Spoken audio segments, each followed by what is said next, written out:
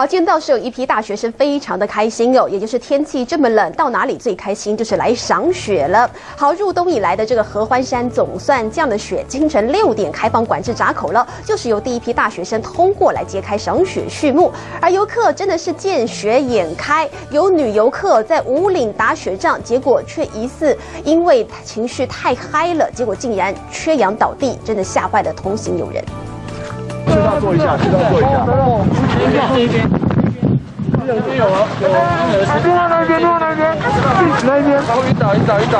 嗨过了头，女游客在雪地里体力不支倒地，吓坏了一旁的赏雪客。没事啊。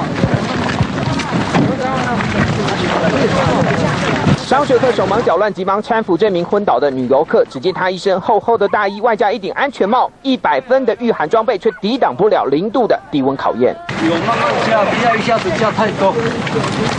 有慢慢加。再看看沿线的台十四线上，因为打滑车塞车塞到爆，车辆没有加装雪链，轮胎碾过结冰的路面，有够鼓溜。自己都站不住了，我是说加油啊！加油！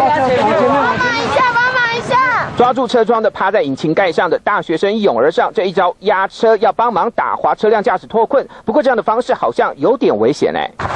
停车场先不要下去哈，交车先不要上去，交车先不要上去。昏倒的、打滑的，合欢山上一团乱，更有人冒险在强劲风势的雪地里搭帐篷，自以为赏雪景，天冷的雄厚，结果。